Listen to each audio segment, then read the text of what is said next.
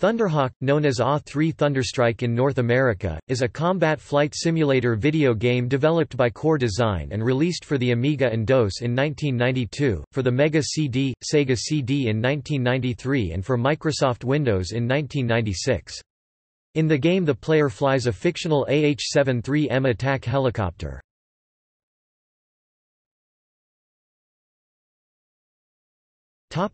Gameplay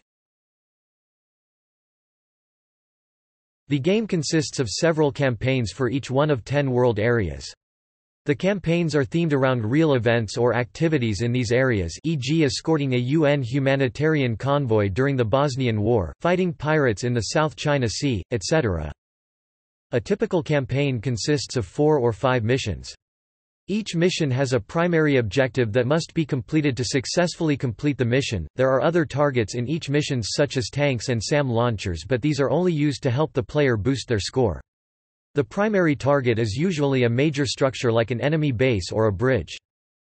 Usually the player is equipped with a standard set of weapons 16 missiles, 76 rockets, and a machine gun with unlimited ammunition.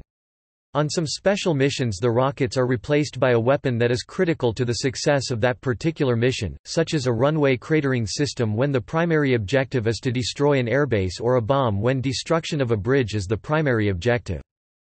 The control system for Thunderhawk was fairly unusual for the platform supporting a mouse.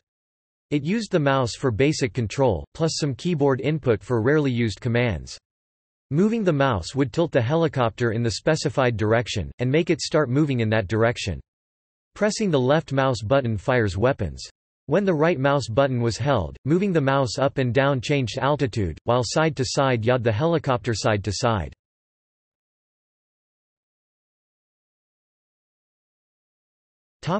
Reception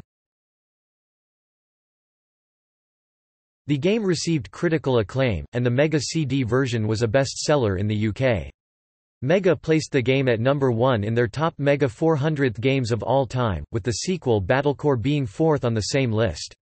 Retro Gamer included it on their list of top 10 Mega 400th games.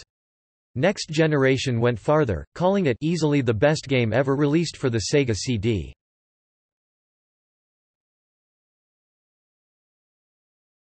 Topic: Sequels Thunderhawk spawned two sequels, Firestorm, Thunderhawk 2 and Thunderhawk, Operation Phoenix. Firestorm was created using the same game engine as the original Thunderhawk. Another core game, Shellshock, also used the Thunderhawk engine.